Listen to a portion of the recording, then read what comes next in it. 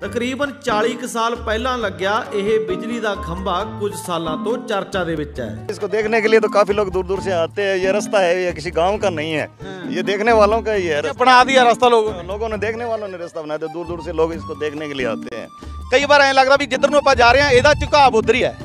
ਹੁਣ ਅ, ਮੈਂ ਕੈਮਰਾਮੈਨ ਨੂੰ ਕਹੂੰਗਾ ਕਿ ਮੇਰੇ ਨਾਲ ਨਾਲ ਘੁੰਮ ਜਾ ਥੋੜਾ ਜਿਹਾ ਕੈਮਰਾਮੈਨ ਸਾਹਿਬ ਥੋੜਾ ਦੂਰ ਤੋਂ ਨਾ ਤੁਸੀਂ ਨਾਲ ਨਾਲ ਘੁੰਮੋ ਵੀਰੇ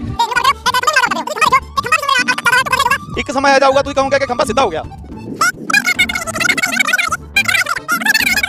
ਤੇ ਹੁਣ ਇਹ ਸਿੱਧਾ ਹੋ ਗਿਆ ਹੋਊਗਾ